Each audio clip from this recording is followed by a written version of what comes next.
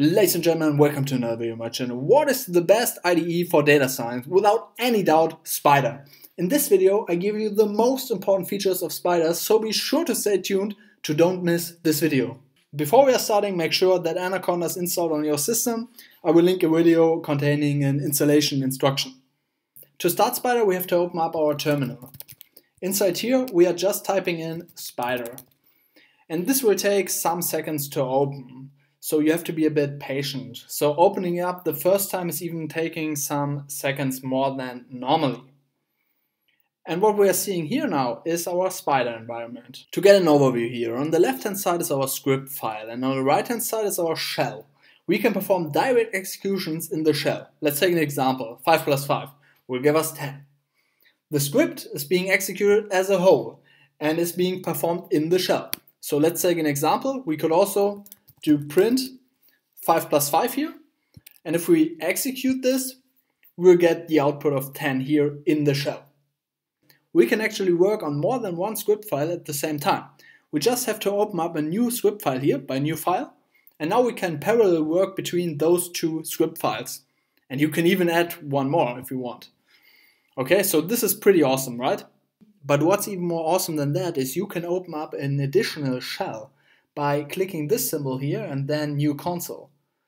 And now we can parallel work on different scripts and even different shells. The script is always executed in the selected shell. So if we have selected console 3 here and printing out stuff like print 5 plus 5 and running this, we are getting the output in this shell. If we are selecting console 1 and running the script, we are getting the output in this shell. Okay?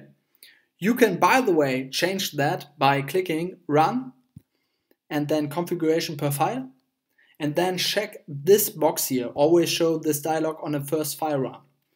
And then pick Execute in a dedicated console and click on OK. Now let's run this again and see what happens. Now pick again, Execute in dedicated console and run.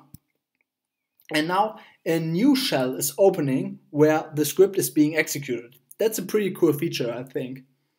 You can also just print out single lines in Spyder. So let's take an example for that. We have two lines here, so this is 2 plus 2, and I only want to print out this line here, line 9.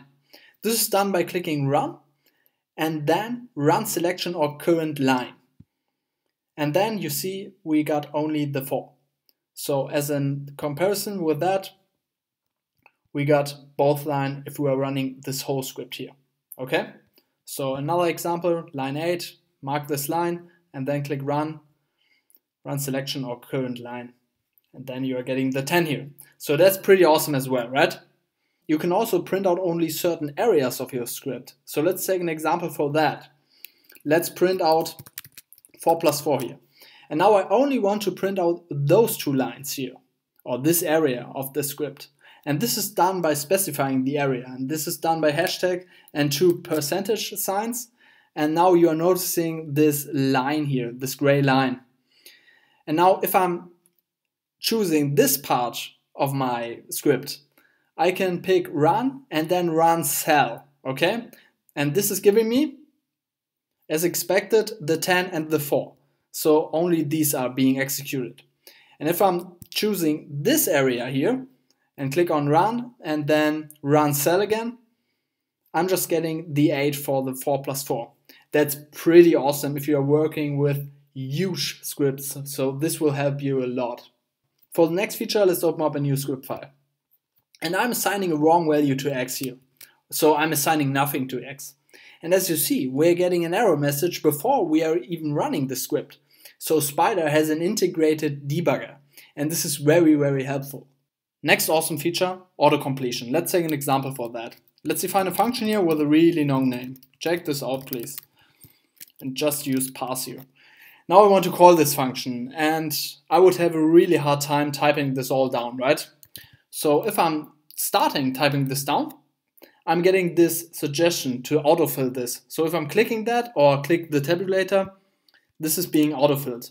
So this is saving you a lot of time. Next important feature, the variable explorer. Let's define some variables here.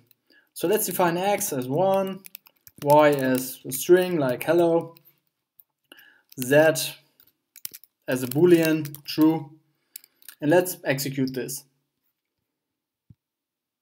And now we are clicking this variable explorer.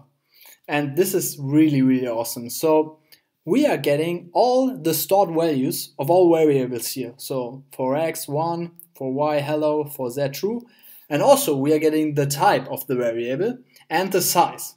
So what does size mean? So for example, if this would be a tuple, so if I'm executing that again, I'm getting a size of 2 here, right? So this is the length of the item. This is very, very useful and will save you, again, a lot of time. Last but not least, and maybe the most important feature in Spyder, visualizing stuff. So let's define two lists here, just taking one, two, three, four, five, and for y, we're taking like any numbers here. And now we're actually needing matplotlib here. I could have prepared that beforehand, sorry for that. And now we are just plotting these. So let's run that. And now click plots. And now as you see, we are getting the plot. And the cool thing here is, if I'm taking a new plot here, so if I'm just using, for example, yeah, what can we take? Let's just take PLT bar here and run this again. And then we're getting a bar chart, but the old plot is still there, okay? So you're having an overview here. That's pretty, pretty nice. So let's take another one and execute that. And as you see, we are, we are having a really great overview of our plots here, right? Yeah, and that's pretty much it. I hope I could convince you Spyder being the best IDE for data science. I'm really looking forward to your opinion on that, so please comment on the video. If this was helpful for you, please subscribe this channel. You're helping me a lot with that. And I thank you very much for watching in the end, and I'm looking forward to seeing the upcoming videos. Bye bye.